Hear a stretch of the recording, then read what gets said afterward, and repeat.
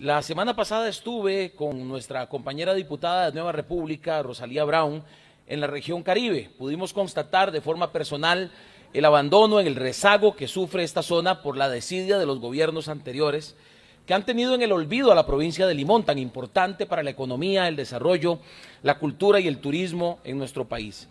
Hicimos una transmisión en vivo en nuestras redes sociales desde la Escuela La Excelencia en Batán de Matina para mostrar las condiciones. Y ahí les voy a mostrar precisamente estas imágenes que tomamos ese día y que muestran la situación actual de esa escuela, que es lamentablemente precaria, da terror ver el estado de abandono en el que se encuentra esta obra. Miren ustedes, hace tres años se demolió la antigua escuela, los niños y los padres estaban felices, llenos de ilusión, porque al fin tendrían instalaciones adecuadas para su proceso de aprendizaje.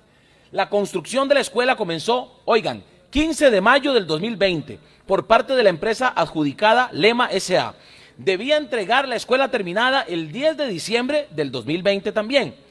Pero tras varias prórrogas al día de hoy, la construcción no está terminada y la obra está completamente paralizada, abandonada, así como la están viendo ustedes.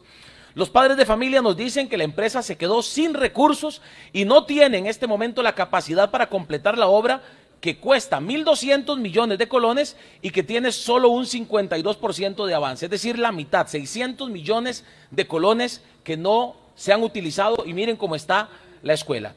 El abandono de las obras que provoca, bueno, que se pierda lo invertido, la infraestructura se está deteriorando, miren los pozos ahí eh, donde perfectamente podría haber criaderos incluso del mosquito del dengue, además de que se han dado ya robos de materiales.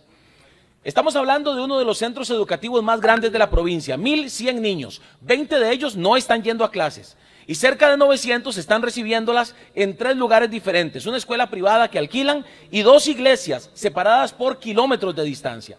Esta dispersión, por supuesto, que trae una afectación que quiero más o menos em, pues describirles.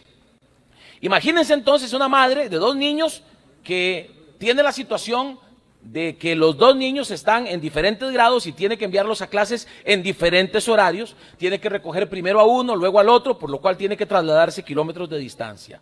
Están recibiendo clases en condiciones inhumanas, en aulas improvisadas que están separadas por cartones, afectando esto, por supuesto, también su proceso de aprendizaje. Lo del comedor también, las, funcionarias se tienen que encargar de trasladarse con las ollas de alimentos a cada uno de los lugares donde están los niños y dejarles la comidita en un recipiente que ellos mismos llevan. La pregunta es, ¿por qué pasan este tipo de cosas en este país?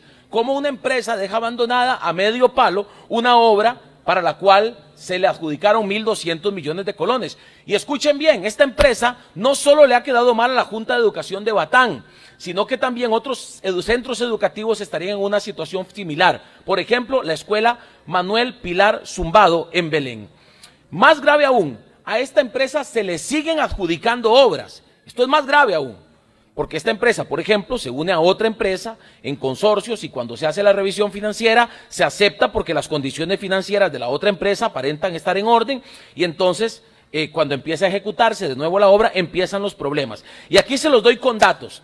En total, a esta empresa se le han adjudicado, ya sea de forma individual o en consorcio, 14 proyectos por cerca de 12 mil millones de colones. Cinco de estos proyectos son posteriores al haberle quedado mal a la gente de Batán, dejando botada la construcción de esta escuela en las condiciones que ustedes ya lo acaban de ver. Voy a repetirlo. Cinco proyectos que fueron adjudicados por la Dirección de Infraestructura Educativa a posteriori, después de haber dejado abandonada esta obra.